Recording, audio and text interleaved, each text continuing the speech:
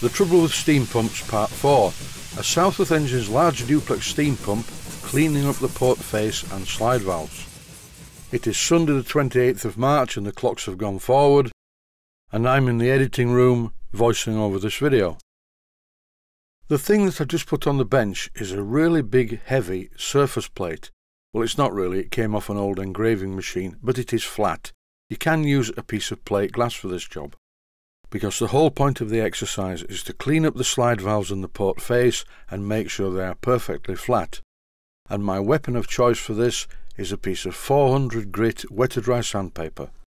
And it's neither wet or dry, it's oily. I normally put a spot of oil on, just to help the metal cut. And off we go. This is an incredibly boring video, so you may as well switch off now. I can't do anything about it. I try and show how I do the jobs, and this is part of doing the job. What I have to do is get rid of all the scoring from the valves and the port face, and the scoring is quite deep. I'm going to edit this down. It's going to be a fraction of the time that it actually took to do the job. And the only thing that makes this job tolerable is the fact that when it's finished, the pump should run okay. Before I get a torrent of comments from experts, Yes, I am aware that I could put the slide valves followed by the port face block into the milling machine and machine a tiny amount off both of the valves and the port face itself. Why didn't I do it like that? Because there's a slight risk of the parts being destroyed by accident in the milling machine. This is a safe way of doing the job if you're a beginner, and it's quite a good skill to learn. Generally speaking, in this job, I'm moving the valve in the opposite direction to the way it's scored. After a lot of cleaning up on a piece of wet or dry sandpaper, in this clip I'm cleaning the valve on a piece of cloth. Most people know what this stuff is, it's called T-cut. It's a liquid that has some abrasive in it and it's very fine. In the next step, which I will do on both of the valves and the port face when I get round to it, I've poured some T-cut onto the cast iron surface plate. No sandpaper needed, I'm just lapping it in on the plate and when this part of the job's completed, the slide valve should be near perfect as far as flatness is concerned. The final job to do on each of the parts is to clean away all of the abrasive and for this I'm using some stuff called gun wash and it's not very good stuff to handle so I'm going to show me handling it very shortly but I don't want anybody else to do that. I use this stuff quite a lot but I try and keep my fingers out of it and it's also a very good idea to use it in a well ventilated space. As usual, I'm using an aerosol can top and I'm pouring some gun wash into there, after which I drop the part into it. And of course there now follows a health and safety warning. Don't do it like this because it contains methanol and other nasty things. You can see that it's turned my thumbnail and part of my thumb white, which is a change, it's usually black. Here's a before and after with the slide valves. The one on the left, of course, is the one you've just seen me working on. And now just for a change, the slide valve on the right is going to get the same treatment.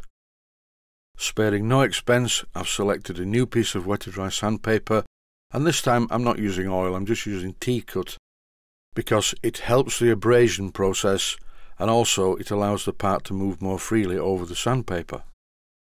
Often when I show this kind of a process, a bit of a debate starts. People tell me that you should always go in a figure of eight motion, but in this case I'm working, generally speaking, in the opposite direction to the way the valve is scored. The process for cleaning slide valve number 2 is exactly the same as for cleaning slide valve number 1. And after a lot of time and effort that makes my arm ache, they both look like this. The next time you forget to oil your steam engine, maybe it's a good idea to watch this video. A rub on the cloth completes the operation. Two perfect slide valves. This is the port face block and it's in a right mess. It doesn't actually look too bad in this shot, but it's worse than it looks. And the bad news is this is much more difficult to do than working on a simple small slide valve. There's a lot more metal to remove. I started off with a small piece of wet dry sandpaper, but it was too small. And at this rate, I don't think my lifespan is going to be long enough to complete the job. Change of plan. Use a full-size piece of wet dry sandpaper and plenty of T-cut. This appears to be slightly easier. I'm running the video at double speed, just to get through it a bit quicker. And initially I thought it wasn't looking too bad until I cleaned off the residue and had a close look. I've got rid of some of the scoring but it needs to be a lot better than this. Just this part of the job, cleaning up the port face on one side, took over an hour. The good thing about this is you can let your mind wander. And now spring has started, it's that time when a young man's fancy turns to thoughts of which steam engine should I steam up in the garden first? This 400 grit wet-to-dry sandpaper is not quite abrasive enough. A while back I bought a pack of wet-to-dry sandpaper online. The pack contained quite a few sheets of wet-to-dry sandpaper, all of different grades. The trouble is it's not very good stuff and it doesn't cut for long before it's useless. And it's also a pain sorting through the pack to find the grade of grit that you need. This is a quite coarse sheet of wet-to-dry sandpaper. I think it's about 180 grit, I can't remember. I'm using it to remove more metal before the abrasive goes. Then it's back to the good quality sheet of 400 grit wet-to-dry sandpaper. The rough stuff removes slightly more material and there isn't that much scoring left to get through. And it's top tip time. For this job the wet-to-dry sandpaper starts off being okay but then after a while it doesn't cut so well. Here's a good solution. After I used all four sides for the job, it was time to do something about it. The middle bit was still alright, so I simply cut away the parts I didn't need.